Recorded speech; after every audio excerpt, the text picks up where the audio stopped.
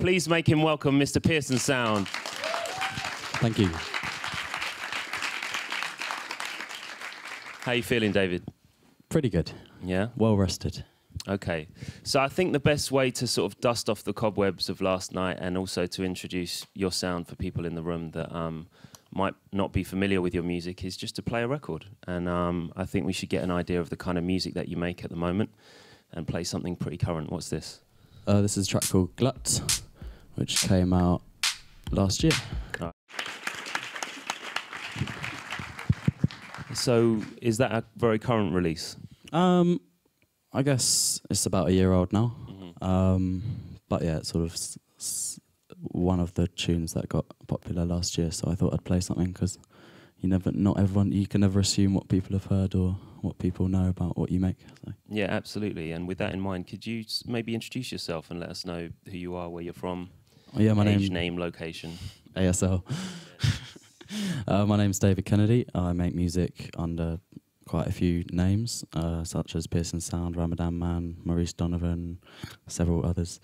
Um, I live in London. I'm from London. I lived in Leeds for a bit. I co-run a record label called Hessle Audio, and I also DJ. Yeah, Yeah, and you're DJing quite a lot at the moment, right? I mean, it's fair to say that the last year has been a very successful year for you as a DJ. Do you want to tell us about your schedule currently? yeah. It's definitely got a lot busier. Um, which is, you know, I've been DJing as long as I've been making music, so it's great, and I'm getting to travel all over the world to like, you know, like last month I was sort of in everywhere from Mexico to to Germany to you know Brussels to all, all, all across Europe, and you know, fortunate enough to be able to go to like Asia and America and other continents, which is really cool. So yeah, things things are really busy. So, main, I mean, DJing is the thing that obviously takes up most of your time because of the whole traveling aspect. So yeah, I'm mainly busy with that right now. And are you enjoying yourself? Yeah, definitely. I think it's quite easy to get a bit run down sometimes. Like last month, I just hit it a bit. Well, I didn't. You know, I'm pretty straight edge, but I hit it a bit too hard in terms of taking on too many shows, and sort of ended up being ill for three weeks, like solidly. I just couldn't shake it. So, yeah, I'm enjoying it until I just, you know, get get too busy for my own good. We heard in Scuba's lecture yesterday about the difficulty between running a record label, making tunes, and um, and DJing as well. I mean, how do you strike that balance? At the moment, it's quite difficult, really. Um, I think writing tunes is. I mean, the way I've always done it is I never really spend whole days in the studio. I'm sort of take it in little chunks. So I've never really had a problem in that respect. But I think this year, especially, you know, you, you might be DJing on a Friday and Saturday. You get home on a Sunday, you don't really feel like doing anything on a Monday. Tuesday, you might answer a few emails, and then it's kind of Wednesday, you might write some music, and then it all starts again on Thursday. So it it can be a bit of a squeeze for time, and you know airports aren't the most inspiring of places, but you've always got to be. You know, I'm always thankful that's what I'm doing, and um, I think that's always important. You can never get complacent with. You know, whenever you see DJs moaning on Twitter about, oh, I've got to travel for like four hours to, it's just, yeah, you've got to realise how fortunate you are at the same time. Now, um, over the last week, we've been lucky enough to hear from people like Nile Rodgers and Trevor Horn about, you know, selling uh, millions of records and um, the good old days of of people buying uh, buying physical products and so on. Is it fair to say that for your generation, you know, um, the reality is that putting out a record like Glut is really, you know, obviously creative, fulfi- creatively fulfilling for you, but is basically a, a, a business card for your DJing services, and that's where your sort of touring income comes from. Is that the reality for a young producer DJ now? Well, I think, I mean, only being, well, I'm 23, um, so I never really saw the days where producers would sell 20,000 singles or whatever, which, you know, is a, well, even that was not that much for the biggest tunes. So I never really saw the days where dance music sold ridiculous amounts of money. So the way I've experienced it is, I mean, you do, obviously you do make some money from releases, especially if they do well. Um, but yeah, in reality, in terms of income, DJing is more like lucrative because you know you, to make a tune it might take weeks, and whereas to DJ is one night. And so yeah, the the industry has definitely changed in that respect, and I think that definitely affects how you know you see producers who have made one big tune and then they're DJing all around the world, which is cool, but it's it's it's almost unfair to have that pressure to to perform if you don't want to. I mean, you look at someone like Burial, he's never done any kind of live thing, and he's sort of stuck to it in that respect, even though he probably could have, you know, toured the world ten times over. So, yeah, I think at the moment there's this slightly weird thing where everyone's sort of expected to do a live show or expected to DJ, which which is a bit strange if it's not what you want to do. And you know, when you're DJing around the world, how is that informing the music that you're making? And you know, sort of further to that, as your venues get bigger, do you feel a pressure to make sort of big room records, or you know, is is your DJing really informing the tunes that you're writing right now? I think well, there's obviously a danger. I think we'll, we'll probably talk about it later on, but in terms of the dubstep scene, part of my theory of why things went. If you saw Scuba's lecture when we he didn't go too far into that discussion, but as the music became more popular, obviously venues got bigger, crowds got bigger, crowds got more impatient, uh, also, I think the smoking ban in in England. Smoking in nightclubs was banned in about 2008, 2009, which obviously affects DJs. Feel like they have to keep people in the room to avoid them going for a cigarette. So music gets harder, music gets faster, music gets you know a bit more in your face to try and keep people there. Um, but personally, I, I mean, obviously, if you're playing a festival to 10,000 people, you you have to keep it in mind. You know, you, there's a lot less subtlety on such a big stage to such a big audience, and I just think it's not. It's about compromising not too much. Yeah, maybe chucking in, and you got to realize with ten thousand people as well, there'll be sixty percent of people no idea who you are, like no idea the music you play. So you can drop some of the bigger tunes, which maybe if you were playing to 100 people in London, you would never play. And it's not a bad thing if it's still a good tune. It's a good tune, you know, regardless. So obviously, the kind of venues you play does inform how you DJ and what you DJ. And I think it's important to keep that in mind. And as long as you're happy with what you're doing, you know. I think if you're if you're purposefully like, oh, I'll play this, I don't really like this tune, but I know it will get a good reaction. I think that's when it might be a problem. Yeah. So, what was the period of sort of musical innocence for you when you were sort of devoid of any of those pressures or influences or, you know, things around you? What was what was the time when you first started making music? for the sake of making music? Well, um, I had piano lessons when I was young. Um, I sort of stopped doing it when I was about 12 or 13 because it sort of became, you know, uncool. Um, and I always, I remember my piano teacher at school, she always got really frustrated with me because instead of reading the music, what I'd do is I'd kind of memorize how it sounded and then play it from memory rather than, you know, sight reading. So that always frustrated her, so she ended up trying to do jazz piano where you had a little in each composition you'd have a few bars where you could do some little noodle and you could do whatever you want. So I enjoyed that more, but then eventually I stopped those lessons and at the time I had like an electronic keyboard, like a lot of kids, and uh, sort of made recordings to tape and like made my own silly radio shows and stuff like that. And then eventually got to use computers and yeah, it just it's happened from there really. Just started using Fruity Loops in 2000. And whatever it was, 2001, and kind of been using it ever since.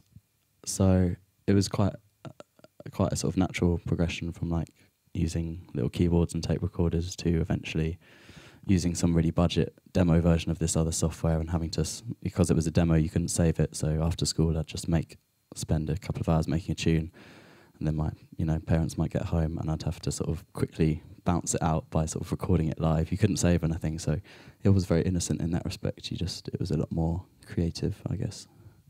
So, what was the age that you first came into contact with music technology?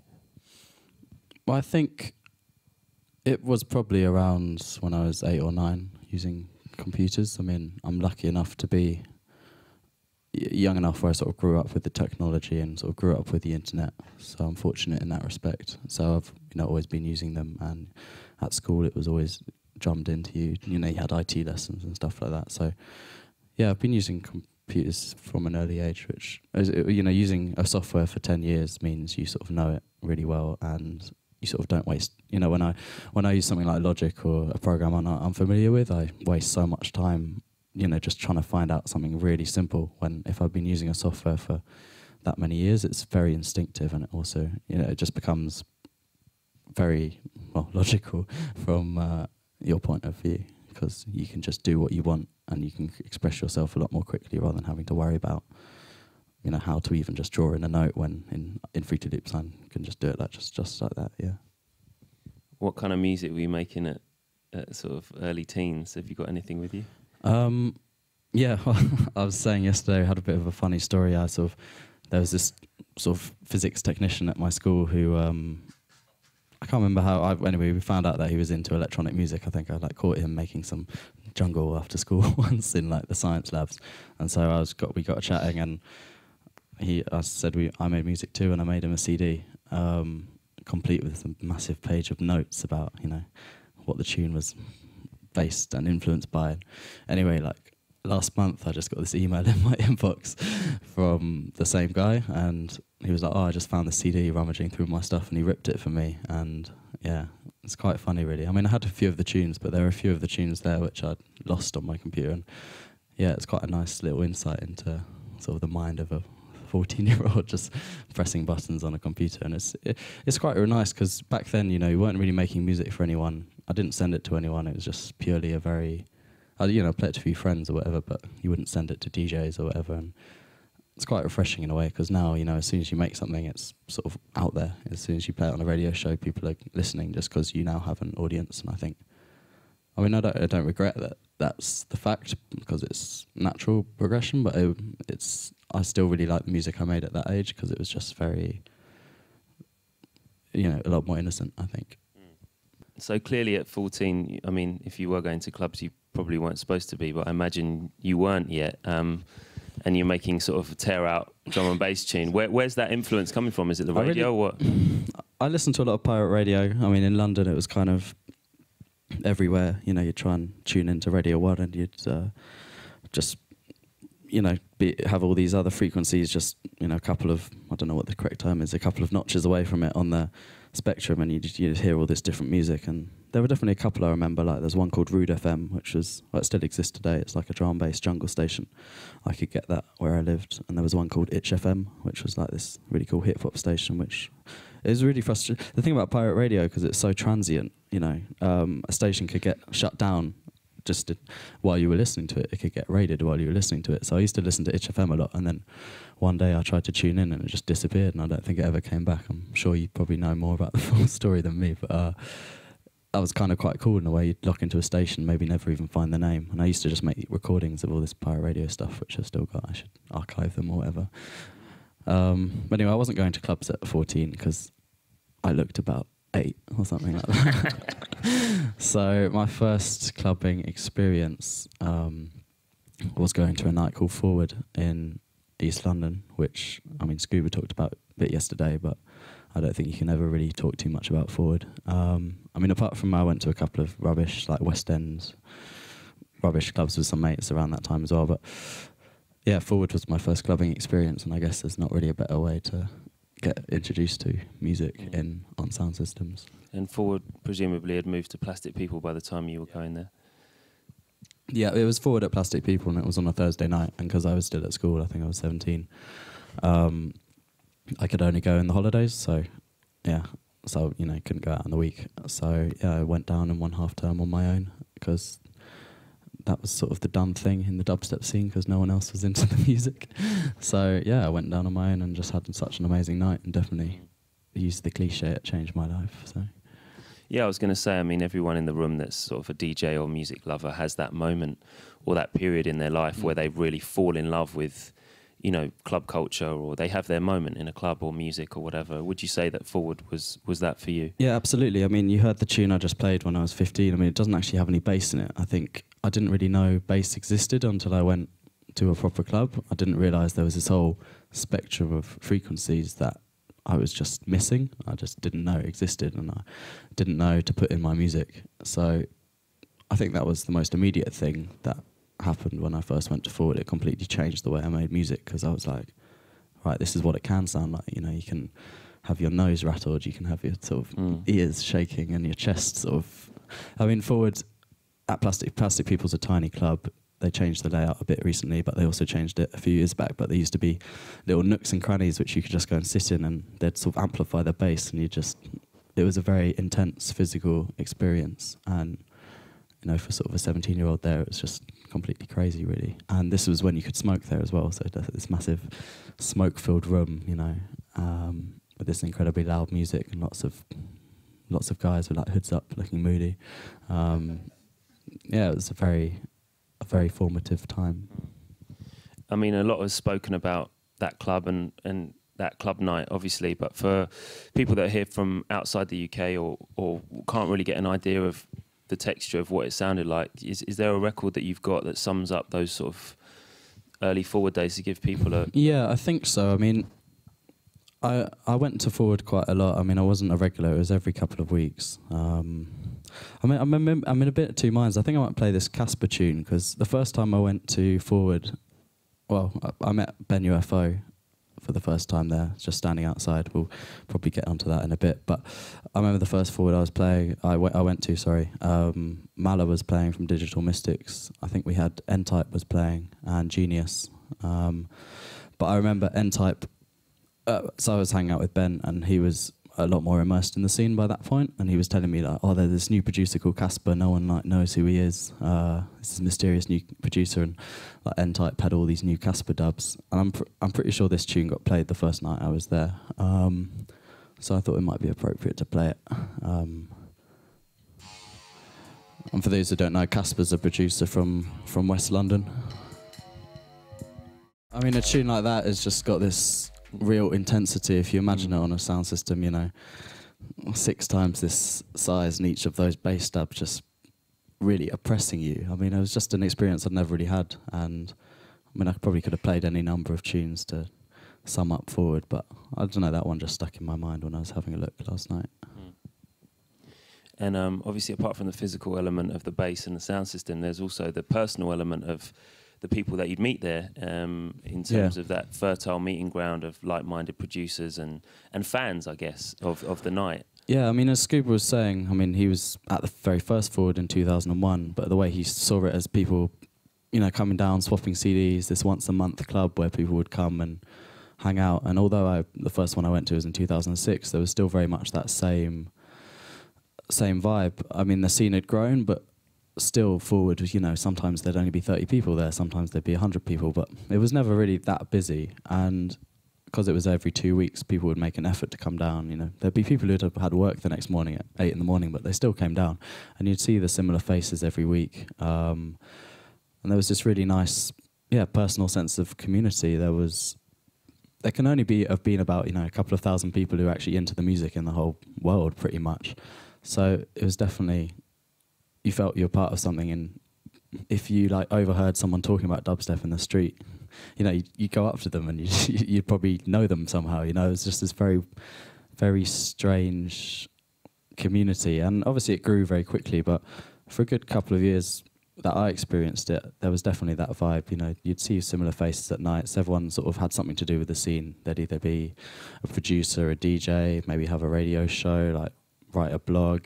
Um, so everyone everyone sort of did something. There weren't that many people who were just sort of punters. There was there was there was a lot of people. Well, mo- most people had some involvement in the scene, and I think that's what made it pretty special. And yeah, I think the the personal element. I mean, the internet was around and did have important, very important things in developing the scene, but the way I remember it was a lot more about the people and yeah, this sort of group of people who are now off doing all sorts of different things, but we all sort of came from a very similar place. Um, clearly, you, you met um, Ben UFO and Pangaea there, who who will go on to do Hessle Records, and we should certainly talk about that in a bit. But do you want to give us an idea of um, uh, you know some of the other producers like that are now sort of quote unquote household names that you might have met down there? Then, yeah, I mean, I mean, apart from forward, there was this other night called the Redstar, which I got involved with. I played quite a lot. That was down in Camberwell in South London, which I don't know, not a lot of people have talked about. It's, there's not really anything written about it, but it was sort of this weekly weekly night, similar to Forward. It's kind of set up in a similar vibe to Forward, and that was that became almost as as the music got more popular and Forward got busier. A lot of people started going to that. Um, I think it was even on the same night as Forward, which is a bit controversial, but. Um, other other people involved. I mean, there's pretty much everyone who lived in London, to be honest. Everyone from like Bok Bok, who runs Night Slugs, to you know, even Skream would just pop down just for fun with his mates. They'd all drive up from South London to come down. Um, I don't want to miss people out, but yeah, there's just loads of people who are now doing really cool stuff. You know, people from like Ikonika to I can't th- think off the top of my head. You know, a lot of people who have released on my label. A lot of people, like people like Untold. There was a lot of people who were involved in that who are now, you know, maybe really successful DJs. Or there was even people who used to see a lot and now kind of lost touch with, which is sort of shame in a way. But everyone's off doing different things. You know, some people are off traveling the world DJing. Some people are sort of lost interest in music and now doing something completely different. But it's just quite interesting to see where everyone's gone, although we're all in, uh, in that in that same sort of situation and place at the time. So would you literally just go to the club and then go home and make a tune straight after? It was sort of that inspired. N- not really. Um, apart from not really working at night, I I think it was more a gradual thing. You know, after going the first time, I realised I was missing all this bass in my tunes, so I started putting it in, and then I'd send my tunes to people, and they'd they'd be a bit more popular, and I kind of realised what I was I was missing. And then when I started DJing myself and playing on sound systems, that's like almost sort of self incubation. You can you can finish a tune that day and play it that night, and as as you play on more and more sound systems, you realize what sounds good, which frequencies work, and yeah, you can just test stuff out. You can play a tune and oh, that wasn't quite weighty enough, and add more bass, or you know that was overpowering and takes them out, and kind of kind of DJing almost becomes like having a massive pair of monitors in which you can just use and test out stuff, and that was definitely the vibe at Forward and Redstar. Yeah, I played Redstar quite often, and I just always have a new bunch of tunes and just go and test them out, and it was very useful. And I just hope that there's people who can have similar experiences today because I feel very fortunate to be able to have that sort of creative ground to experiment in. And as a fan of the music, certainly another environment where you'd go and be excited to hear new dubs was a club called DMZ. Um, do you want to talk about your experiences there? Yeah, I mean DMZ was um, well, it's still going. DMZ is is a club night often in Brixton, which uh, has changed venues a couple of times, but it's it was every two months, so it was a bit more of a sort of special occasion, and it was on Saturday night rather than a Thursday, so it was it was a bit more of a party. It was a bit more of a rave, and it was run by the DMZ guys, um, Mala, Coki, Loefah, Sergeant Pokes, and the whole point of the night was it was their night, and they'd headline every night and play for two hours at the sort of peak time, and that was the time where you'd hear all the new Coki dubs, you'd hear all the new Mala dubs and everyone would make an effort to come down. People would cancel bookings to come to DMZ. People would, you know, I remember I got asked, "Do you want to play in whatever city that night?" I was like, "Oh, I can't. It's DMZ." You sort of make, which sounds crazy now. You people would actually do that. People would make the effort to come, and it's a lot bigger capacity as well. You know, for I don't know, 600, 700 people. So yeah, and everyone would be there. Basically, everyone in the scene would come down to those nights. Um, so yeah, it was a bit more of a party maybe. Forward yeah. was a bit more eyes down, like quiet midweek session, have a few beers, whereas DMZ was sort of till six a.m. You know, proper, mm. proper full on, well, rave, I guess. Yeah. In some of the sort of original, I just found this out the other day when I was going through my records, and someone told me, but some of those original DMZ 12 inches are worth a lot of money now because they're sort of vinyl only. Have you got anything with you that would? be yeah, I feel the most the most appropriate thing to play to represent DMZ would be a DMZ record because I mean, although they they always invited guests, you know, there were loads of people on the lineup, um, but it was kind of always about DMZ. You know, everyone would the room would massively fill up when uh, fill up when DMZ came on. Um, so I think I'll play a record by Mala, who's definitely a massive influence. You know, he was playing he was playing it forward the first time I went down and playing all his new dubs. I think I'll play a, record called Anti War Dub, which is uh, quite a big tune by Mala. And I think yeah, it's pretty hard to get hard to get now. On it was a vinyl only release. I bought two.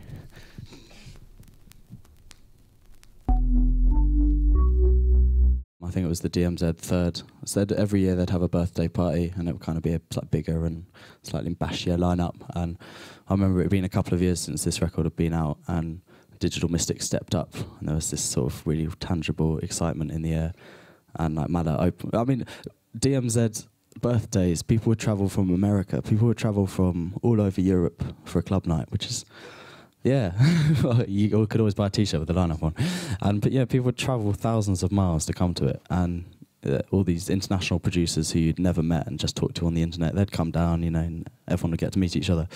Anyway, DMZ was stepping up, and there was this sort of amazing excitement in the air, and Mala just put this record on, and the place just—I think there's a video of it on YouTube somewhere. The place just completely went off, and yeah, it's one of my favourite memories. But I think this tune has a lot to say about the DMZ vibe. Um, I mean, it's called anti-war dub, such a sort of positive, spiritual, uh, a, a, genuine spiritual message. It's not just some a cappella chucked over the top. It's very much sums up their sort of ethos and the way Mala approaches music, and he, he's very much about about keeping things keeping these keeping things real, as in sort of a real physical product, having a real club night where people come to and sort of joining people together. And I know that probably all sounds a bit wishy-washy, cliche, but with Mala, it's 100% genuine. And yeah, if you ever get the chance to see him DJ or you know give a give a talk or whatever, definitely do it.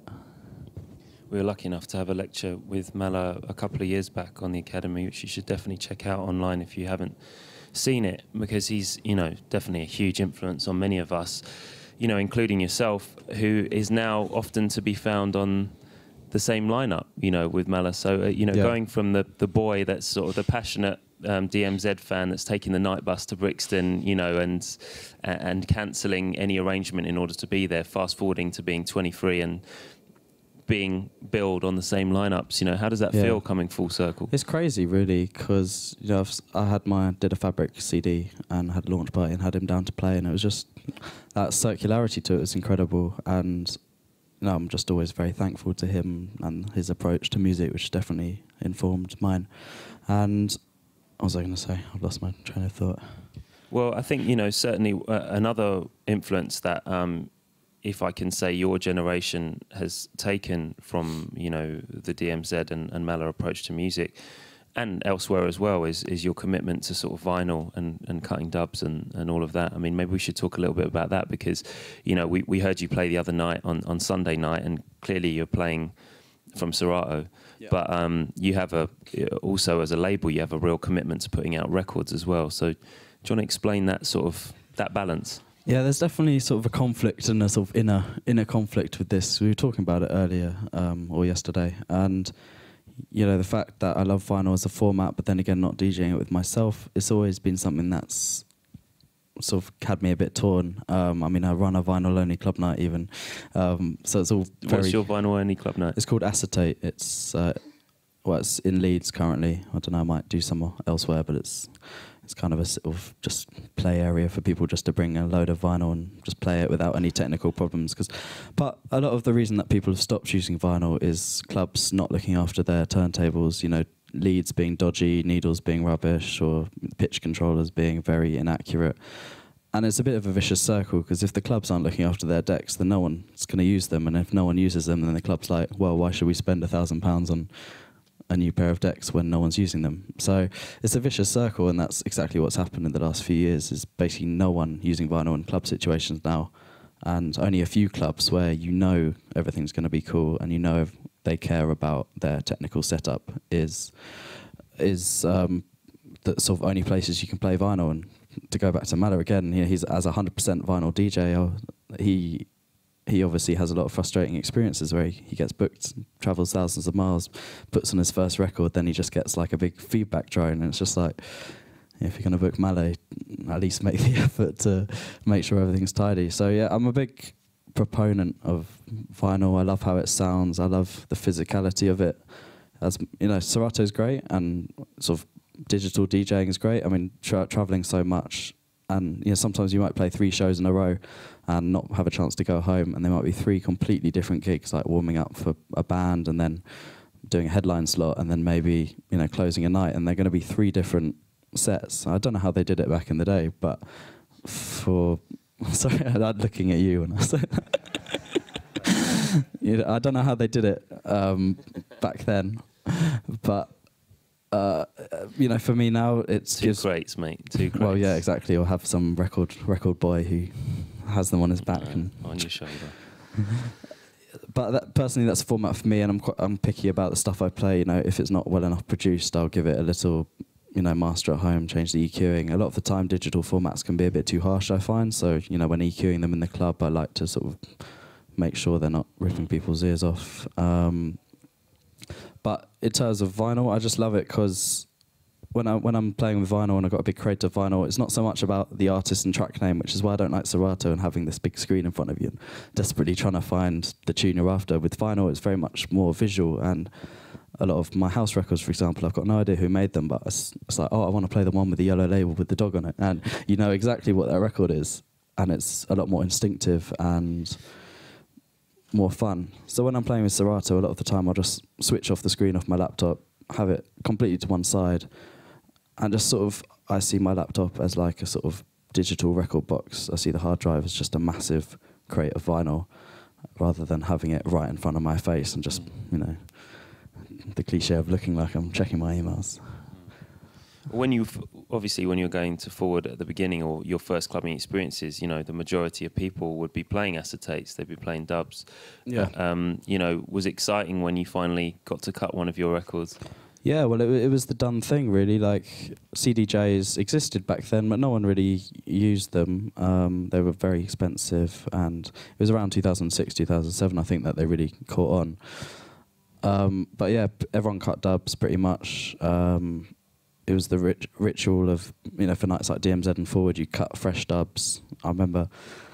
so I, it sounds like I love Mala, but I remember Mala once his bag got lost at the airport, and he specifically called up the cutting house, got them to open up on a Saturday, and he cut like a whole fresh batch of dubs for for the night. And it was very much a sort of ritual almost going to the cutting house. And I mean, I don't want to sound like I just played 100% vinyl all the time, but I did cut, you know, quite a bit, and it was great because your tunes would get a bit of mastering before they were cut as well. You know, if you play something off CD and hasn't been through someone else's ears and someone else's equipment, whereas if you cut it to dub plate, it's been through a mastering engineer's system and they've tweaked it a bit, um, which obviously makes it sound better.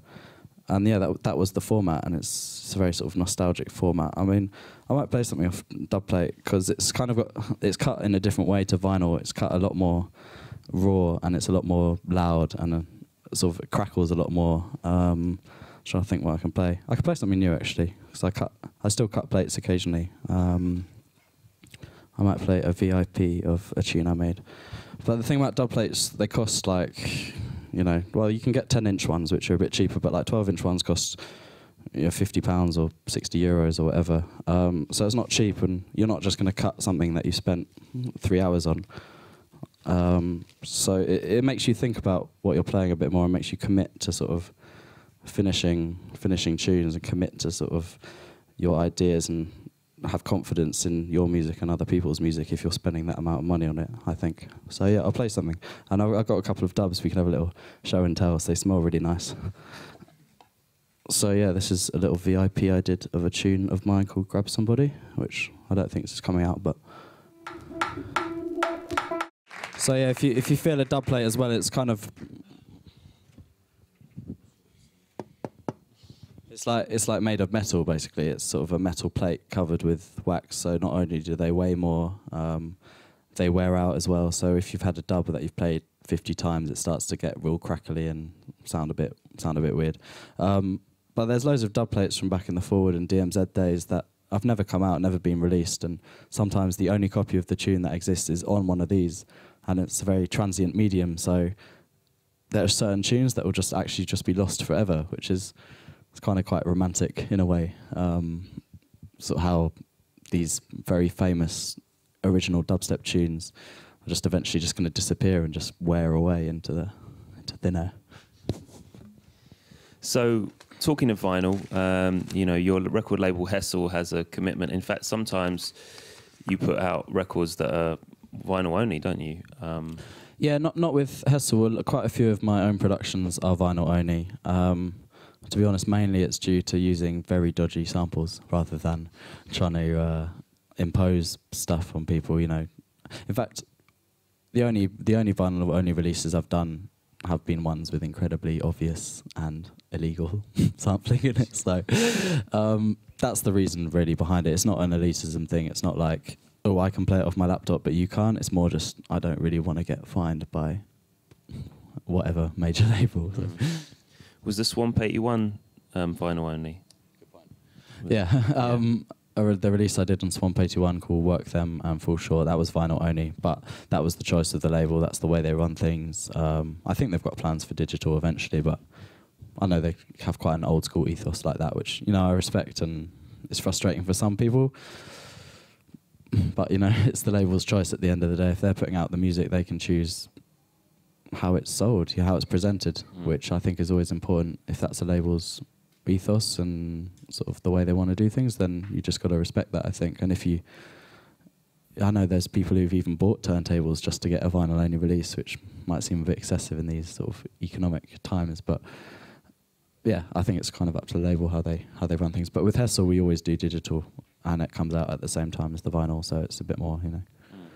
We like to keep it that way because we DJ digitally, so it, it only seems fair to me that we sell it digitally as well.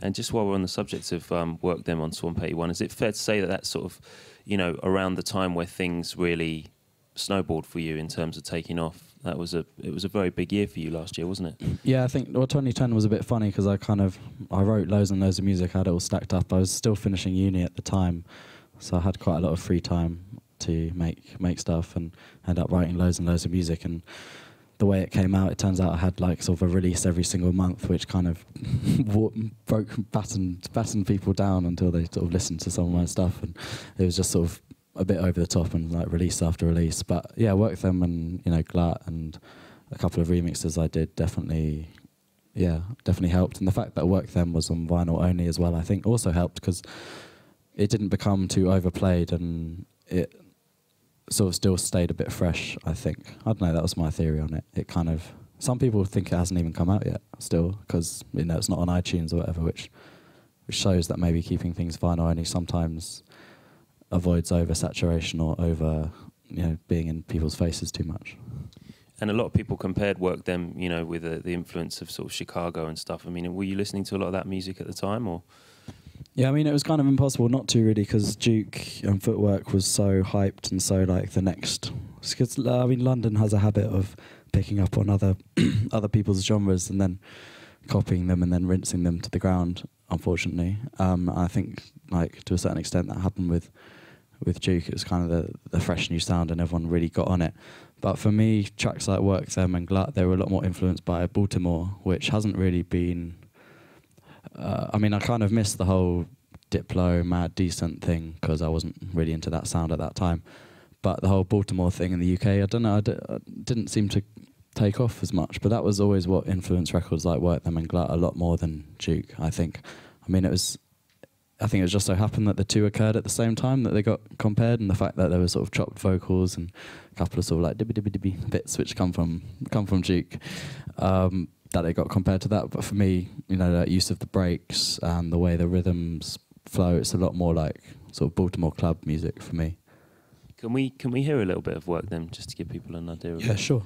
Because um, Yeah, sorry if you find that tune annoying. If you've heard it too many times, that kind of vocal gets in your head a bit. So let's talk about your record label. You, you mentioned about some of the people that you met in your early days going clubbing, and seeing as you're only 23 now, that must have been very young. Back, in, Um, back in the day. sort of, yeah. back in your day, um, yeah. Uh, ben Ben UFO and um, and and Kevin Pangaea. Tell us about your relationship with them. Yeah, well, basically, I went down forward first time on my own. You know, none of my friends were into this kind of music, so and forward always opened really late because you know they was a bit sloppy with opening hours, and so we waited for like an hour normally before getting in. And I know this guy was outside, and I met him. I think I might have spoken to him on the internet a couple of times. There was a big website where people into dubstep chatted. Um, but yeah, we just got talking, and it's just quite bizarre to think that you know, if the club had opened on time or I had decided not to go down that night, I wouldn't know Ben, who also lived with Kevin Pangaea. And we wouldn't have started the label and things would be really different now. So, yeah, it's, it's very bizarre. I don't like to think about it too much, get into fate and destiny and all that. It's, it's just very strange that he was the guy I met um, the first time I went down and, you know, we're still really good friends and DJ together and run the label together. So presumably on Hessle number one, you had no idea how to put a record out, and you had to Yeah. experiment, right? Yeah, I mean, it sounds bit, yeah. Let's start a record label. Sounds easy, but I'd, I had no really idea how to do it, and I had a help from a couple of friends. This guy called Whistler, who ran, who runs a radio station called, well, a radio internet radio station. Um, so I called him up. I was like, "So he started his own label." I was like, "So how do you do it?" And he gave me a really detailed breakdown. And basically, the thing he said was like, "You need distribution." And I kind of didn't really understand that at first. I was like, "What? You just press your records and you sell them to people, right?" But it, I didn't realize how important it was to have someone to get those records to people because there's only so much you can drive around London in a car and, you know, sell them to shops. If you if you really want your record to be heard by people, it's just got to go all around the world and it's got to go all around the country and in different shops. So I wrote this letter to our distributor, um, put in a few CD, a CD with some tunes, and then eventually heard back from them, and then had like some hour long heart to heart on the phone, found out how it all worked, and yeah, kind of started like that. It's very much a, a learning process. You know, we had a, our second release had sort of five different test presses. It took like six months to come out, full of nightmares. But experiences like that just help really, because if you have it too easy, if you you know, if everyone did everything for us, I don't think we'd have a clue what's going on. I think I'm very grateful that we had those sort of painful initial experiences, and eventually we signed to a, a pressing and distribution deal, which is basically you just give the distributor music, and they arrange all the pressing. I mean, you still do the artwork, you still have full creative control, but they sort out the boring stuff. You know, they they get the artwork in the right formats, and they you know arrange delivery and yeah, th- th- it makes life a lot easier and simpler, and they get better rates with studios and shops. So, yeah, if if you can, getting a press and distribution deal is great, but it, I think it's also good to try doing it the DIY way first. I mean, I used to go around Soho in London to the record shops, and I'd sell re- shop, I'd sell shops to, rec- I'd sell records to shops. Um, you know, my, myself, I'd even sell records outside DMZ. You know, five pounds a record, and I even I remember specifically Benga, he bought one of my records. He was see he used to sell his CDs, so he's like, oh, I remember I used to do that, and you know, he'd, he'd buy a record off me, and it was very nice. I think people appreciated seeing. It's kind of like a farmer's market, you know, meeting the person who made your potatoes. It's like meeting the guy who made your record, and I think people kind of like that in a way. So, yeah, I did that for a bit, and then realised it's not really about standing outside a nightclub at five in the morning trying to sell. And half the people lost their records on the night bus as well, so it was a bit, it was a bit silly but it was a good experience. And so fast forward to now, and you're doing. Um, you've, you've just released a compilation, which in a way is a summary of everyone that's on the label, right? I mean, it's called 116 and, or 116 and Rising. Yeah, I don't have a copy, but um, yeah, we it was our first biggest project because we've been running since early 2007, and it's so now it's now been four years.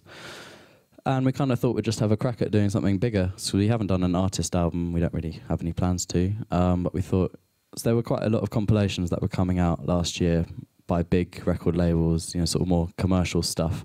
And I think our distributor was like, "Look, you guys should try doing it. I mean, you can do it." They they they definitely believe in us and they've been very supportive. So they they gave us all the support we needed, told us how to do it, and we assembled all the tunes and got together some nice artwork. Had a few hiccups along the way, but eventually got it out, and we've got this product that we're really happy with. You know, it's like a triple vinyl, really nicely designed, double CD, really good artwork.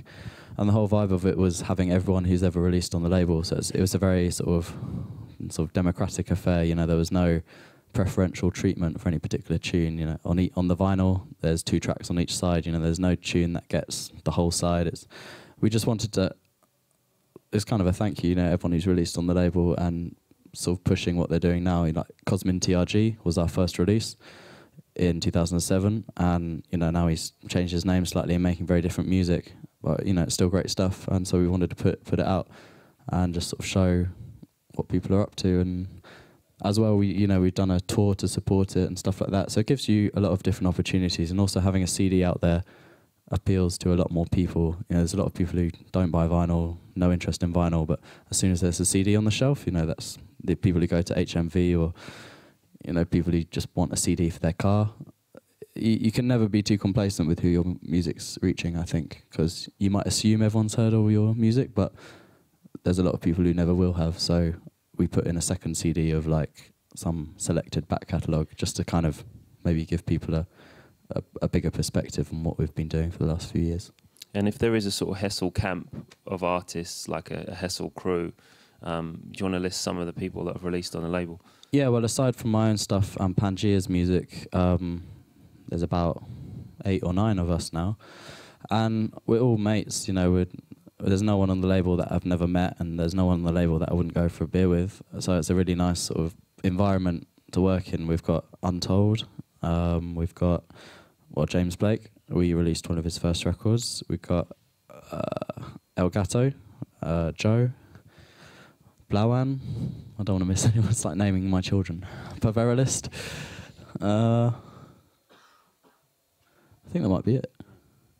Yeah. So there's there's a really nice crew of people, and you know everyone's mates, and everyone gets along, and yeah, it's just a really nice thing to have. I don't think I'd ever want to release someone's music if I hadn't met them or you know, didn't get along with them. If you thought someone was an idiot, I'm not sure. I'd, not sure I'd want to put out their music, to be honest. And so going back to release one, I mean, what what's your what was your ethos? What was your manifesto when you got together and decided you wanted to do Hessle? And where did the name Hessle come from? Well, at the time we were in Leeds. I was at university in Leeds for a few years, and Ben and Kevin were also in Leeds, and they lived together. And they'd been in Leeds for a couple of years, and I came up sort of as a fresh-faced first-year student, and I kind of wanted to start a label. Those guys were my sort of dubstep friends, so yeah, I, was like, I want to start a label. They were into the idea too, so we sort of thought of a name. We we were getting sent tunes at the time because we were you know DJing in clubs a bit, and we had a radio show. And there was this guy called TRG from Romania who sent us a couple of really amazing tunes, um, which sounded very different from what was being made at the time. Like if you if you think of what defines dubstep as a genre, a lot of people would be the sort of the half-time beat pattern, the sort of very like kick, snare, sort of slightly more sort of sluggish half-step kind of rhythm. But the tunes that this Romanian guy sent us were completely different. They were like garagey, shuffly. They had a completely different groove from anything that was being made at the time. Um, so we thought that was an ideal way to start the label. And yeah, initial problems aside, we got the first record out and it was really well received. Had quite a few DJs playing it, and I think people found it quite refreshing in a way. And yeah, that's kind of how it started. Then the name comes from the street that Ben and Kev used to live on. You know, we thought of we had a big brainstorm trying to think of a name, and it took ages. Had some you know rubbish rubbish um, potential ones, and yeah, we actually changed the name at the mastering session for the first release. Like he was like, "So what should I write into the groove?" And we're like, "We, we it was going to be Hessle Avenue, but we changed it to Hessle Audio," and it's funny how these things work out, isn't it? Um, so yeah, we had the first record out, then had a few months because of all the problems with the second one, got that out. Then it became a bit more a bit more flowing. And then when you get more of a reputation, then maybe you get sent a bit more interesting music. And mm. yeah, a lot of the releases we've done have been very sort of natural processes. Like someone like Joe, for example, he we've known him for a while, and he kept on sending us music and hang out with him for ages. And it was never like unsolicited in a way. It wasn't like, "Dear Hessle Audio" or mm. "Dear Label, please find attached." You know, this. Tune. It was very much he he. We knew he was working on stuff, and it was very back and forth and then eventually sent the right tunes, and yeah, we we rolled with it. And I mean, uh, the 116 and Rising is a really good starting point to understand if you want to get familiar with the music of Hessle.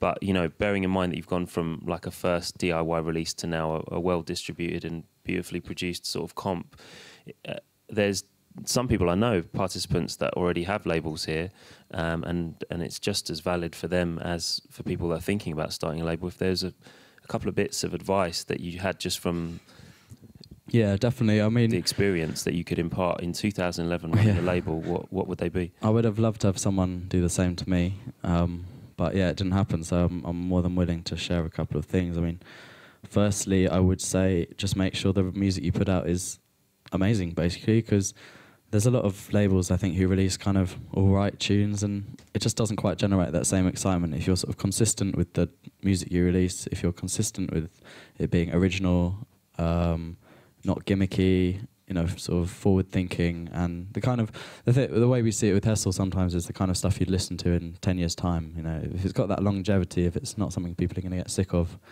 then you know it's something we'll probably be interested in. So that's one thing I'd say: be original and obviously name helps and the way you present yourself you know if you call yourself like slime audio or like sort of filthy bangers or something like that. You know, your label's going to be perceived in a very different way to if it's called like you know Sandwell District, which sort of reflects the kind of music that's on it. So maybe that's something to think about.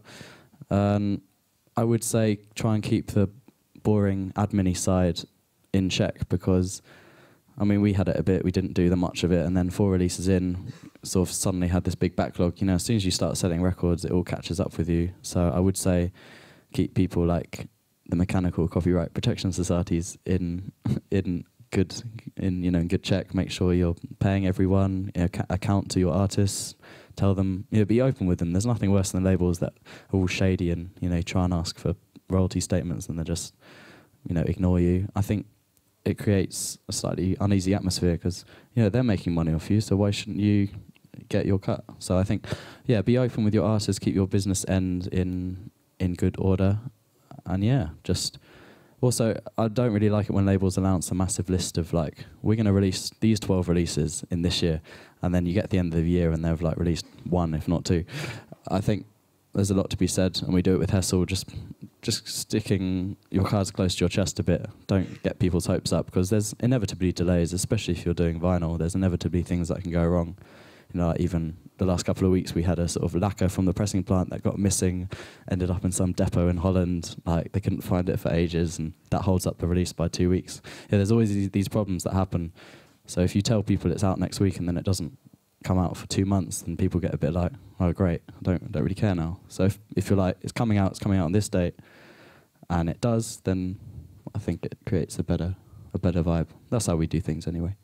Cool. Thank you very much. And um, so we talked technically about the um, label side of things. Let's talk techie about your you as a producer for a minute and geek out um, on some technical things. What what did you start off using, and, and what do you use now to make your music? I mean, Well, I started off using well these keyboards and tape recorders, and then I started using a demo version of this software, which you know I had to bounce out stuff like that, and then I started using Fruity Loops.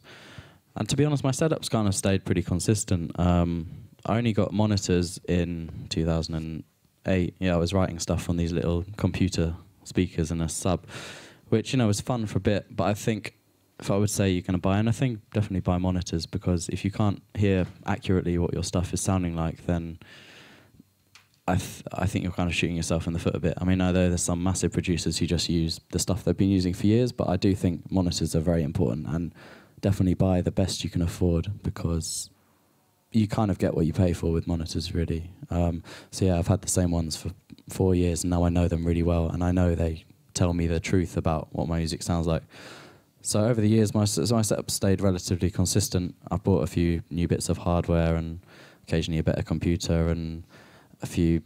Sometimes it's fun just to have stuff to play around with. If you're always on your mouse, sort of clicking things, it can get a bit frustrating. And sometimes, to get that new inspiration, you just need something to play around with, something physical to sort of tweak and make sounds with. You know, if, if I'm ever feeling uninspired, if I'm ever if you're ever sort of hitting your head against the wall being I can't write any music today, if you just switch on the synthesizer, press record and then jam out for a bit, you always always end up with some interesting noises and you feel like you've done something basically rather than just getting frustrated with not being able to write music. So yeah, my setup's relatively simple. You know, a track like Work Them is 100% digital. You know, it's, there's nothing outboard in that at all. Whereas you know some of my other stuff, a lot of it comes from external sources. is that a bedroom-made record? Yeah, pretty much. Um, Your neighbours must love it. well, the great thing about living in Leeds and student housing is all your neighbours are students and they don't really care. So, yeah, I was very fortunate for a few years to have a space where I could just make as much noise as I wanted. And yeah, I think that's very important as well because if you can't hear your music loud, then I think you're missing out on missing out on a big aspect of it. So, yeah, if you're fortunate enough not to have neighbours or to have nice neighbours or to have a separate studio space, then I think that's very beneficial. Yeah. And uh, tell us briefly about building a track. Where does it start for you? And I mean, obviously, everyone has their own process. But um, how do you, when you sit down with a blank canvas, how do you start building a tune? I think, I mean, it very, much varies tune to tune, obviously. Uh, some tunes you might hear a sample that you really want to use, um, and then you start playing with that and putting stuff on top of it. but a lot of the time you might just some very rhythm orientated. I might just start a drum beat and see what happens.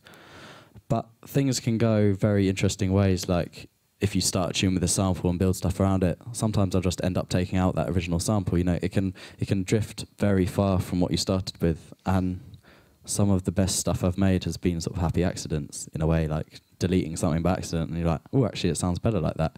So I know it's hard to pin it down into a spe- specific formula or a specific manner of working, but yeah, maybe generally starting with drums and rhythm because I find as if a tune doesn't have that certain groove, that certain rhythm, then I never really like it that much. Mm. So, can you explain to us why you got so many different names? I'm sure a psychologist would have a have a field day. Um, well, f- for stuff like my Maurice Donovan stuff, I might I'll play one of those tunes in a bit, Mm. but that's a sonic decision. That's very much a sort of this is a separate project. It's sort of a bit of a joke, separate project. Whereas the difference, I work as Ramadanman, I work as Pearson Sound. I've done a few collaborative projects, but I think we were talking about 2010 and I had all these different releases out. I think part of the reason was I had a few different names, so I could sort of, you know, if people bought a Ramadanman record one week and then a Pearson Sound record the next, there'll be a lot of people who might not know the two people are the same, and so it can be beneficial in that in terms of not oversaturating, but also with the name like sort of Ramadanman, it's something I made up when I was like 13. Um, yeah, it's it's a really stupid name, and it's I've been, doing stuff as Pearson Sound since about 2008, but it's only in the last couple of years that I've solely focused on that. And it's, I don't know, I see it as a bit more of a serious name, um, a bit less gimmicky, and I think also maybe certain names can get associated with certain sounds and styles of music. And I think you see it happen with quite a few producers. They get labelled as, oh, he's a drum bass producer, so I'm not even going to listen to his new stuff. So I think often names can give you a bit more freedom, um, maybe remove preconceptions, and I, I just think it's quite fun trying to confuse people and switch things up. And yeah, I th- I'd, I'd like it just to be judged on the music basically, um, and for people not to worry too much about who made it. How do you deal with the um, sort of Ramadan imitate Ramadanman imitators and the and the Pearson Sound imitators, of which there seem to be a few popping up? Well, yeah, I was listening to on the way here. I was listening to some of the stuff I've been sent recently, and just sort of, it's quite funny when people send you stuff that really is copying you. I don't know. I'm not sure what the intention behind it is. Maybe like, oh, it sounds like you. You'll like it. But uh, look, I mean, I, I'm not really bothered by it because, you know, I've. I, I think I did it first in a way, so I'm not. It doesn't really bother me in that respect, but it can be a bit frustrating sometimes. Um, well, you know, if I'm happy with my own stuff, and as long as I'm happy with being original, then I don't really let it get to me. And I think, you know, maybe in the long run, people, I'm not sure people who are.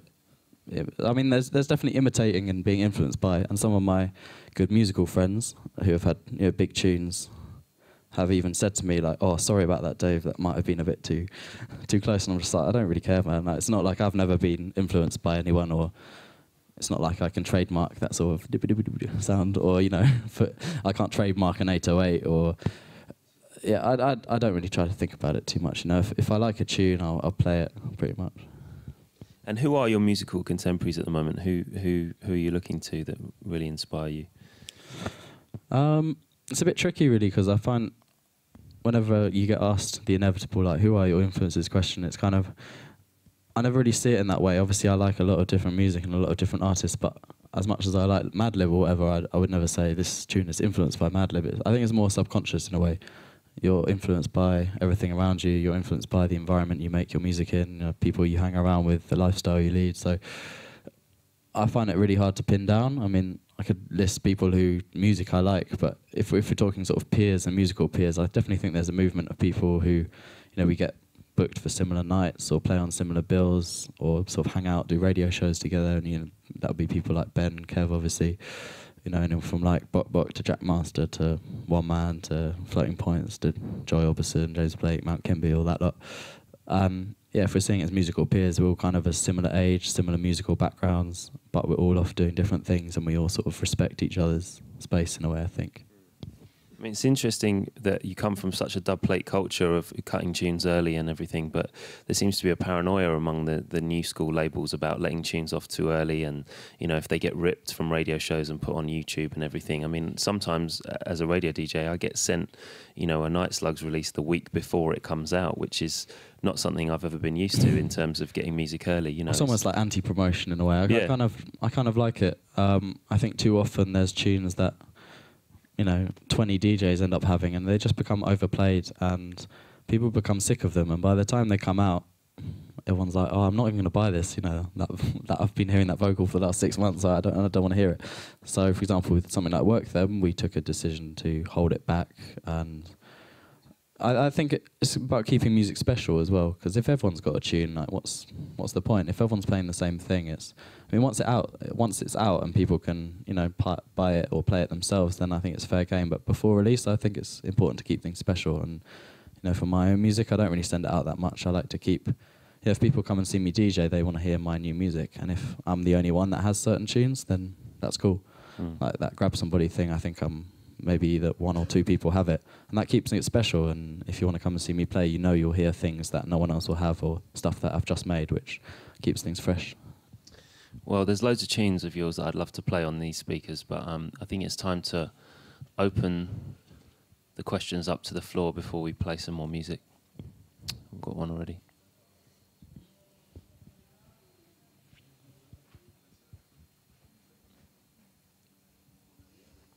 Yeah. Tick tick. Hello. Hello. Hey, thanks for coming. Um, I spend a lot of time in uh, airplanes and airports as well, and I'm wondering if you uh, uh, do you produce in the airplane? Like like like what's your favorite production or whatever like editing setup in an airplane or in an airport? You know, like in the airplane, you only have the little table. Well, And, actu- uh, I never make music anywhere other than my studio or Okay. you know my bedroom. I find, well, apart from the fact that I DJ on my laptop, having to carry two laptops, and also if I was making stuff on the road in headphones, firstly, I don't know my headphones, and I'd probably end up just having to do all the work twice. I might make a tune, but then I'd have to re-edit it, rebounce it, change the mix down, and it would just. I don't know. I see traveling as a very different space mentally from DJing. I think often when you're traveling, you're tired or annoyed or stressed, and I don't really find it a very conducive atmosphere to making music personally. I know a lot of people love writing stuff on the road, and that's the only chance they get. But I'd rather keep the two separate and just you know watch some watch some films instead of making music personally. okay. Cha cha. Hi. Hi, I like the Code Nine tune. Yeah. Thank you. Um, I really want to uh, ask, like, uh, question one: How how how you name your uh, how you name yourself's music is obviously not dubstep anymore. How do you call it? Um, I mean, we didn't quite get on to talking about dubstep as a name, but for a long time, dubstep, people were very interested in the name and people wanted to be associated with the name. And but when now it seems the opposite. When dubstep comes to mean something else, everyone sort of runs away from it. And I think part of the music that's going on now, it's part of its success. I think is the fact that it doesn't have a name. You know, if people ask me what I DJ, it's quite a difficult question without reading off some sentence of of genres. And I think it's a good thing, really, not to have a defined name scene because as soon as it gets a name like dubstep, it sort of means something. It means, you know, a kick on the first beat, a snare on the third beat. And personally, I'm all for avoiding it. And I know sort of maybe journalists and shops especially love to label something in that way, but yeah, I'd rather just not think about it too much, to be honest. But I guess it just takes elements from a lot of different music and combines them into something fresh, hopefully. Cool. Um, also, um, just just my opinion to look at the whole whole world about the music scene now happening. Uh, it's all about come from UK or come from US. So, um, but compare those two places, like England music seems change all the time. Like every every don't know 10 years like big movement and every couple years like the music changing like you can tell the big big the big different so i really want to know what do you think or do you think what is behind the music scene push the whole music scene go forward all the time? I think, I mean, England's always, or the UK has always had this culture of, you know, sound systems, of this lineage of music that some people subscribe to this theory of the hardcore continuum where, you know, acid house goes into hardcore, goes into jungle, goes into garage, goes into dubstep, you know. I mean, I kind of think it sort of makes sense, but I think you can't stuff, start applying music into that theory. So I think there's always been this lineage in the UK of new music, and I think people there's a hunger for it, and partly because the club scene in the UK is so strong. Uh, there's so many different clubs. Very underground music is still incredibly popular. You know, you can have a very underground artist playing to a thousand people in the UK very easily. You've got clubs like, you know, Fabric playing really underground music to three thousand people every weekend. So it, it's definitely more in the culture. So there's there's a bigger audience for it. In answer to the question why it's always moving forward. Um, I think it could be to do with the sound systems as well. Like often the sound systems in the UK are of a good standard, and I think having a sound system which accurately represents frequencies and you know has all the bass. Like you know, if I played the tune I just played earlier on, you know, tiny little speakers, I think it would lose a lot of its impact. So I think having spaces where people can hear music how it's meant to be heard um, are very important. And you know, without wanting to generalize a lot of the time and say America, that isn't quite the case. And a lot of people are frustrated there because they know how good we have it in UK and Europe. But I think that's part of the reason why music also develops in different ways. Like, for example, the really noisy dubstep, for example, it sounds quite good on phones or like really small speakers. It doesn't quite, it, it's not as essential to have the full frequency range. So, yeah, and to summarize, I think maybe it's to do with better sound systems. But I'm not. I'm not too sure really. It's it's hard to say. Great, thank you. Over here. Oh. Um, who's that? Hi, David. Hi, Joe. Um, uh, you um, you're obviously in a sort of really privileged place that you can go over loads and loads of different styles now, and you're not beholden to the dubstep scene or anything. Um, but you just, you know, your new stuff is doing this very purist house thing. Um, do you ever feel like there's a duty or, or, a danger of diluting something that came from a small purist underground scene, you know, a, a very particular sound when you're constantly going between things?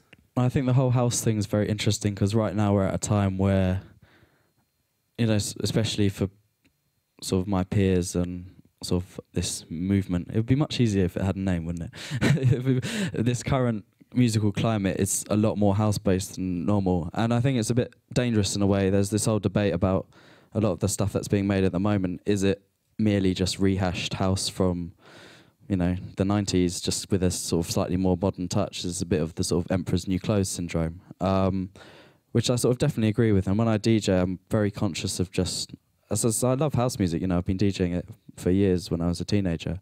Um, but I that's I don't really feel that's what I'm here to do in a sense. I'm I'm not here just to play a house set in a club. Um, so I think there's definitely a danger of just becoming a bit too formulaic in in that kind of way. Um, and you said earlier about being in a privileged position where you can now play a lot more genres. Definitely a couple of years ago, people who would come to see me play would you know uh, be expecting a certain sound, and at that time things were already moving. So when I'd be playing some of the newer stuff or houseier stuff, there'd be a lot of people who get angry. I mean, that still happens recently, even like sometimes in America or had in Australia. Someone told me to play some dubstep. You insert expletive there. So sometimes you do you do get it, but definitely now I feel very fortunate to be in that position where I can play you know two hour set and start at house music and end in dubstep and play all sorts in between. And I think that's what I'd really like to do is keep the variety because I'm not sure I could ever really play an hour of just the same kind of music anymore. Any more questions? Yes, sir. Hi. Hello. Um, I'm curious about when when you make music. Do you are you always making music to be heard in the club, or do you want people who listen to the same music at home and maybe I vibe think out like that. My my primary primary thought when making tunes is definitely how it's going to sound on the sound system. I think that's just the mindset I've always been in since going to forward. Um, it's just all about the club. I think. I mean, obviously stuff like that ambient thing, um, or music that I make for different. I don't want to say uses, but different intentions. Um, then it becomes different. But the the club and the dance floor stuff I pl- play is always designed for how it will sound on a sound system, and that's the opt- the optimum environment for it to be heard, or at least on a very good, you know, hi-fi with lots of bass. So yeah, I, I always have that in mind when I'm making music. Cool. Do you, do you see your stuff in the future always kind of for the club stuff, or do you see yourself maybe kind of Well, going in more of like the like the ambient sort of tune? I just like to keep doing everything really. I think that's what I enjoy is being able to write a big club record, but then also just doing some really introspective, you know, three minute drone piece or whatever. I, I like I like being able to do that, and um, I think the danger is when you start thinking, oh, does this sound good on a mobile phone, or you know, will this sound good on speakers with no bass? That's maybe when you start to compromise how you make music in order. F- it, you sh- you shouldn't be compromising for the format it's played on. Like the format should be catering for you. I think personally. Obviously, that's an ideal world, but I think that's what you've got to aim for. Thanks. Jesse. What's going on, brother? Um, Hello. you were speaking earlier about uh, when you gave the um, your physics teacher the uh, the the CD or whatever it was with your music on it. You said you had an explanation of what you were feeling when you were when you created it, or It was less feeling. I mean, it was kind of just jumbled thoughts of a 15, 16 year old. You know, like for the drum bass tune, I was like, this is a really ravey, dr- A-many drum bass tune. Like the vocals a bit stupid, but yeah, it's wicked. I don't know. So, I mean, I've got it here, but I'm not going to read anything out. Um, it's probably it's probably far too cringe. You cringe. shouldn't have said that. Yeah, I shouldn't have. But yeah, it wasn't. Why, but why? I'm sorry to cut you off. But why do you think? Why do you think you felt you had to do that? Do you can you recall? I don't know really. I mean, I gave CDs like that to a couple of other people, and I'd always sort of. I, I- I don't really know. I think it was just. Yeah, it's hard to say. Sort of trying to explain myself or trying to. Yeah, I, I don't know. It's interesting. It was just interesting because then you said you did radio, so I'm pretty sure you did that while you were explaining, describing songs on the radio as well. So. that's Oh, I did two different kinds. I, w- I did fake radio shows when I was like ten or eleven. Just you know, me me pretending to be the interviewer and the interviewee and all, all sorts of stuff. I don't have those with me, thankfully. Um, but stuff like that. But then I also do radio shows currently on you know Rinse FM as well as we used to do it, it on, on another internet station. Um, but you know, I'd never really introduced my tunes or anything like that. I'd, I think if if if I was say before I played the ambient tune, if I was like, this is a really sad piece of music, like you should feel sad. This is very sad. And I think that's kind of almost predetermining how people should react to a piece of music. Whereas a lot of my favorite music, it's very ambiguous or even ambivalent. Um, you know, some tunes that people find deeply sad are, and I find incredibly euphoric. And I think the way music's interpreted should never really be dictated. And I think sometimes the way music's presented nowadays, it can almost be telling people how they should react to it. When I find the best music's always been people have very personal interpretations.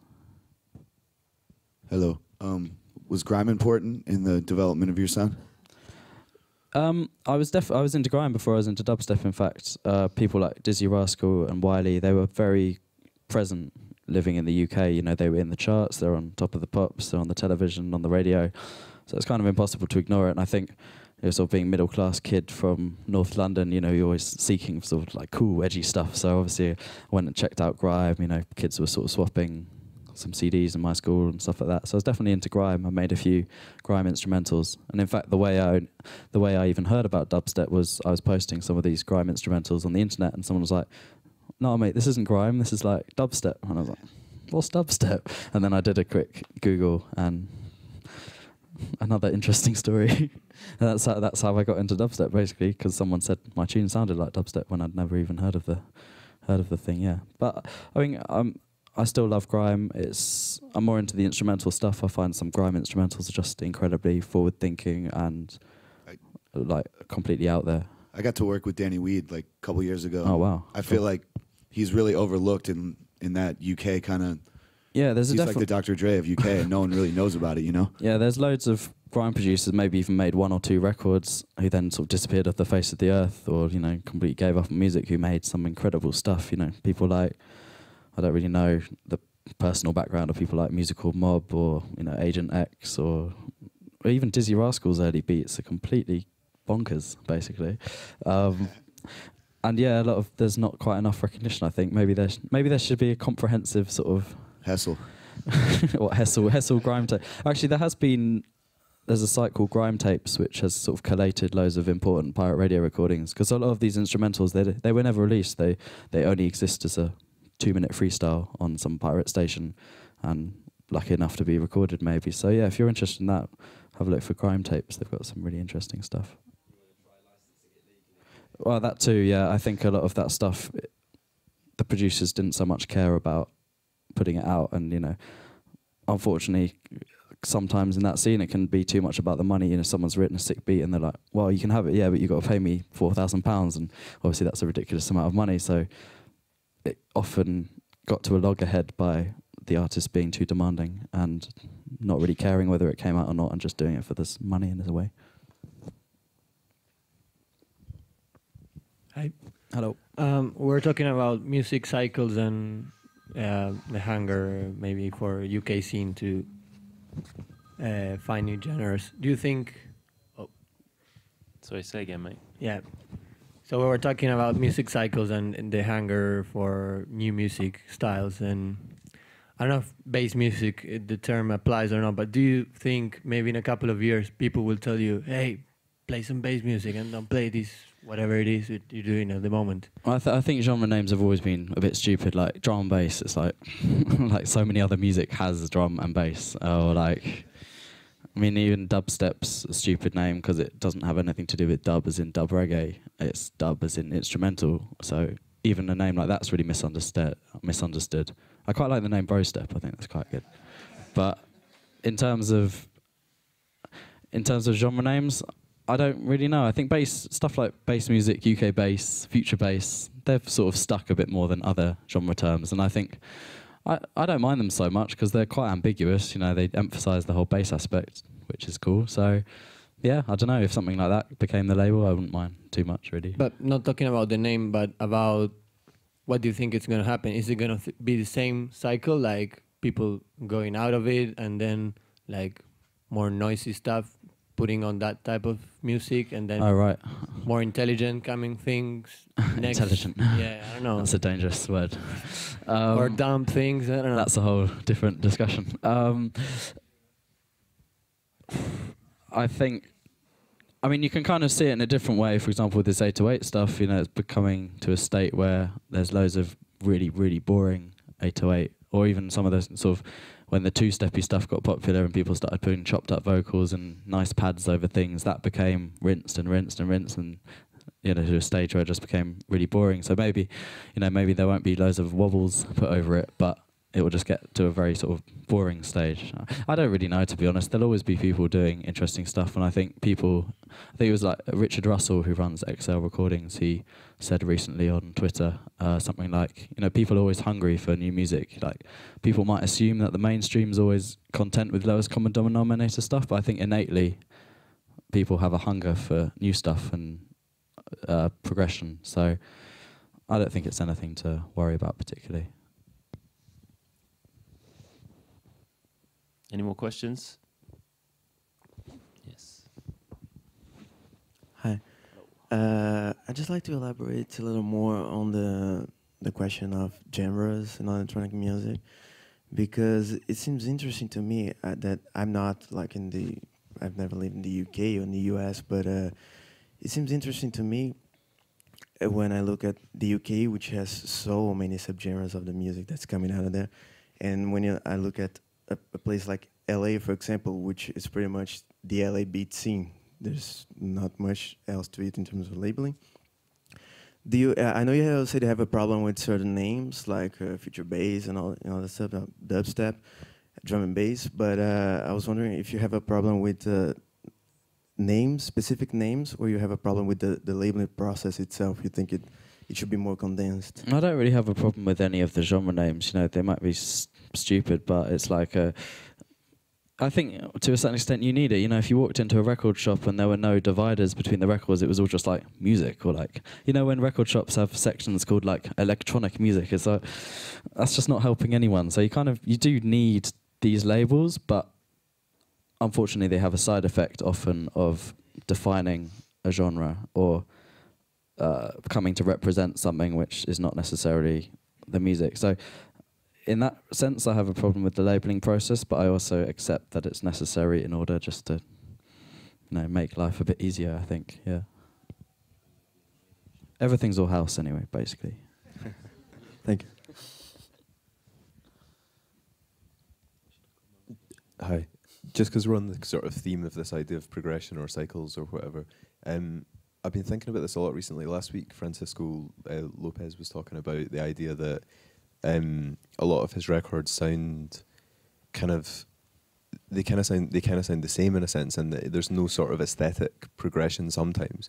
Um, and what he was saying was, you know, you wouldn't expect in other art forms for people to progress really at all, um, and you know, from one year to the next. Or And like sort of a Picasso painting, sort of always looks like a Picasso painting. or or yeah. the idea that you would have maybe you know a painter might have kind of periods where it Right. takes it might take them they might do 20 paintings that are all of a piece whereas with music it's sort of assumed that people want to progress and hear new things. Um, so kind of the, the question or what I'm kind of wondering is do you think that there can be something almost kind of harmful in that that sort of the quest for novelty? Because you know the idea that a nice chopped up vocal sample in a pad it does get rinsed. You're you know you're right but musically maybe the, the great song hasn't happened yet or I'll tell you what, I might play a quick clip of a tune um, which came out on my label, which is kind of that period in time I was talking about of experimentalism at Forward and places like that. There's this guy called Untold who we released, and he released an EP called um, It's Gonna Work Out Fine, which is kind of this six track EP of just really cr- incredibly out there ideas. Uh, this is a tune called Anaconda, which kind of you know you drop in a club and people just laugh like it was that sort of i think there can be a danger with trying to make stuff so new and out there it just becomes really unlistenable and just very self-indulgent and a bit arsy but if it, if it's done correctly i think you can get stuff like this yeah this is a tune called anaconda which came out on Hessle, which is just a bit yeah I'm, if it doesn't disappear so far into its own backside, then I think it's it's okay. You know, as long as it retains that, people can still dance that. It might take them a while to pick it up, but I think I kind of see what you're saying. If people are always feeling they have to progress and then end up just just being a bit too, it become it doesn't become club music anymore. Basically, it becomes sort of you know installation music or But I think more what what I mean it's not the sort of I think it's good if, if, if somebody wants to do something that's that's different that's got to be a good thing. It's more it's less about the positive side of it and more about the negative side, which is um, somebody makes a good tune but people don't want to hear it. You know, it's the it's the negative side. The kind of Well, oh, that's been, that's been done. That's been done. It's not that I think progression's bad. It's the mindset of the listener. The idea that But you Oh, mean you sort of if someone made a massive a massive record, but the fact that it came out a year later than a record which kind of did the same thing, does that mean that record is no longer a massive record? that that or yeah something something about somebody does something and it's and it's kind of considered oh well that would have been that would have been Ah. an amazing tune if it had come out a year ago and you're thinking well I mean it is or it isn't like you know you know what I mean and and I think there's definitely something Yeah. about the mindset of progression that in other genres you don't get that like how many people who are into funk would say if, Yeah. if they made an amazing function they'd go well I mean it would be good if it came out in the 70s but That's wha- a really whatever. good point. Actually, I've never really had had heard anyone think about it like that. Um, how do you feel about? Sorry, because I don't mean to soapbox. I just wonder what you think. What you think about it? Like, like- Um, it's really hard to say. I mean, the way I see my own music is like a tune like Work Them, for example. I could try and make it again or use similar drum sounds. And, you know, I did have a, you're talking about painters having periods. I kind of saw, I, I work in that way, you know, I, I write a block of tunes and they're kind of in a similar style before sort of progressing and, you know, doing something different. And I, I, I'm a believer in that there's no point trying to remake a tune you've already made. So I could make you know ten work thems, but I don't think there'd be you know. I think the the one that came first is generally the best one, and you end up just wasting your time trying to sort of clone something.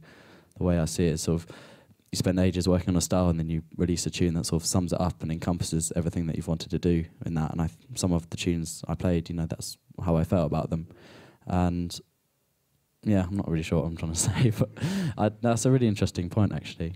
I think a lot of it is what came first. You know, why would someone give this record the time of day when someone's done it a lot better a year ago? It's just, it's just people's mindset. I think it's about who came first or who did it first, maybe. Thanks. Over here. I got one more question. Um, and I'm from the southeast U.S. You know, that's where I grew up, and uh, we are not really known for our club scene. Whereabouts in US? Uh, I'm from North Carolina and went to school in Tennessee, Okay. so I kind of claim the southeast. So yeah, not really known for our club scene. You know, we have guys with big beards playing instruments and stuff. You know, flannel, lots of flannel, and yeah. Um, so you know, but yeah, you know, like you're from you're from London. You grew up with that. Like I only started listening to like proper like dance music or like club music in the last couple years. Really, Mm. I was just wondering if uh, you know, yeah, like kind of tying in with Stuart's question, like he's talking about all the all the genres and consistent, persistent, like you know, change progression or questioning. Are you thinking kind of the time it gets over to the southeast of America, it's already changed? You mean? No, actually, I was I was wondering more about um, the the creative angle. Like, do you know anyone? Are you familiar with anyone who makes music to be played in a club who doesn't listen to club music? If that makes sense, you know what I mean. Like, uh, like who doesn't follow the the constant stream of um, of that. I think there's a lot of people, well, I say a lot, a few people who inadvertently make club bangers. You know, without kind of realizing it, a tune gets picked up and ends up being recontent. I can't think of an example off the top of my head, but there's certainly been records in the last couple of years that have been picked up by like a certain scene when they were made. Uh, I can think of an example actually. I played like this African house record on Sunday if you were there at Siroco, which I heard the other day, and I started playing it, and I doubt it was designed. You know, it's, a South African house record, and I doubt that it would ever be thought that sort of a London, well, sort of future-based dubsteppy whatever DJ is going to be playing that. I I definitely find it interesting when music's designed for one thing or one environment and then ends up being completely recontextualized either by the way it's mixed or the environment it's played in. I find I find that very interesting. Yeah. Okay. Yeah, no, I just didn't know. You know, like because for me, like when I heard something like James Blake, like I thought that was like pretty different. But I guess he's uh well, it's, sti- it's still quite different. But you know, he's still following those those trends in club music and stuff as well. I guess. Like, I, I yeah, I was just wondering if there's someone that really. Well, for James, for example, I. I mean, I don't want to speak for him, but I know he wasn't. He had a bit of an epiphany in a similar way to me and lots of people. But he at DMZ, I remember he even gave me. A, s- he came to DMZ back in 2009. It would have been, you know, he came and handed a few CDs. I've got it somewhere, and he was he had this epiphany uh, with electronic music, and he was into it a bit before, but that's when it really started informing what he was making. Um, but I think once you sort of get into that world, it's always that's you're always going to start listening to it. I think it, the, I can't really think of any examples of people who've got absolutely no interest in club music, but somehow their records get picked up by DJs. So, yeah, I can't really think of it to be honest.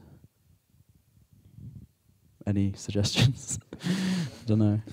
There's people who, who are not scenesters. I mean, you know, Shackleton or Burial, they're not people who are sort of. Yeah, I mean, there's definitely outsiders. I think that's a very interesting area that could be looked at. Sort of people who, yeah, someone like Burial's some of the most amazing music ever written, but he's completely outside of the scene.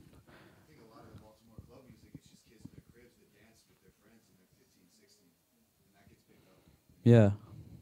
Same with even Juke music. I mean, a lot of Juke music is less about the music, more about the dancing. But the way it's taken in London is no one give, no one cares about the kids dancing. They just care about the music. It's completely flipped on its head in a way and recontextualized. Maybe I don't know if it's a negative thing, probably, but yeah. Um, I just got a thought when I listened to your question and the discussion about it that I think that in a way, I mean, club music's been very professionalized and the whole process is very like all the uh, different uh, things that you need to make it and you know get your label out there and charts and there's so many so many charts and so many different forums for kind of uh, reaching out uh, that I think in a way with this progression thing, it might be in a way that um, it's about like the myst- the mystical thing of a creator of music who innovates and who is like this kind of genius, and not so much maybe about the whole. Um, like the the music, just like listening to music, just hanging out with some friends and hearing some tunes, and I think definitely it's in the last few years it's become a lot more formalized as in you have a big record, you've got a strategy, you've got a promotion strategy like, oh, shall we go for the sort of pretend he was found on MySpace and then market it like that, or shall we go for the straight in with the like, oh, he's a really good looking singer, let's let's push that angle. I think it's definitely become a lot more formalized and streamlined in that way. Like, okay, on the week of release, let's do this podcast, or the you know the the week of release, let's give away this MP3 on this website. It can be very calculated in that respect. So it's incredibly refreshing when you get someone like. I've, I've got Levon Vincent on my mind because uh, his latest record just came out, and the way he operates is obviously he's an incredible producer, but he'll make music and then he'll just say to his distributor, he'll be like, "Look, I've got a new record," and it comes out. There's no press, there's no promotion, there's no hype. It just comes out. People judge it on the music. That's kind of what happened with DMZ. DMZ would never announce their releases. You'd only find it out by you know the week before it came out. They'd be like, "This is in your shops," and it'll be a complete surprise. And I definitely think that's missing in a lot of today's music. Unfortunately, there's element of surprise and just uh, uh, there's without judging other producers. Sometimes there's a lot of producers who sort of maybe give too much information. You know, they sort of have ten different press shots from every angle, cover every single pore of their face. You know, give every sort of minute detail in an interview about you know the street which they grew up in. And I think sometimes it's nice just to hold back a bit and not have that inform people's opinion of you or your music. Yeah. I was more speaking about the uh, interest in the in like the the thing with a tune that sounds a bit like one that came out the year before, but it's it's it, it might be almost equally good, but you won't you don't want to kind of you won't be getting media attention for that one like someone else did it because kind of the media wants the artists to be like these kind of almost superhuman creators and it's not the scene is being watched by media you know the whole thing it's not like just some people making some like maybe it was back in forward you know that it wasn't all about like who made the i don't know it, i kind of feel like that sometimes hmm. it's a, I'm not sure. it's a difficult thought maybe Well, there was maybe i'm a I bit yeah. Going back to our old friend Mala, who I seem to be constantly referencing, but he he had this tune for a good. It must have been a year. He had this tune on dubplate. There was no label on the dubplate. It was just this dubplate, and he'd play it every gig. And there was just this complete mystery. No one knew who made it, and it took a year, and people people just going completely crazy, just trying to find out who made it. There were so many rumors, like could it be this guy, this guy, this guy, and he just completely held it down. Didn't tell anyone who it was, but it was actually these guys from New Zealand called Truth, and he'd he'd play this record at the end every set, and it would completely destroy it. And yeah, I'm, I mean, I'm not sure if I'm misunderstanding your point, but are you sort of saying about I'm not, not sure so much? I, I'm not sure if i'm understanding it either it's not so so- much about not so much about who made it, but sort of judging the music for itself. Yeah, I guess that kind of works.